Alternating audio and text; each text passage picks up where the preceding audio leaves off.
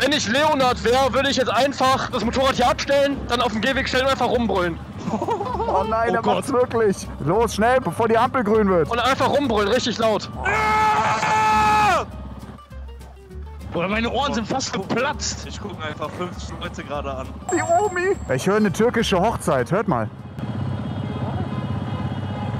Das ist eine türkische Hochzeit! Einfach Pizzalieferant.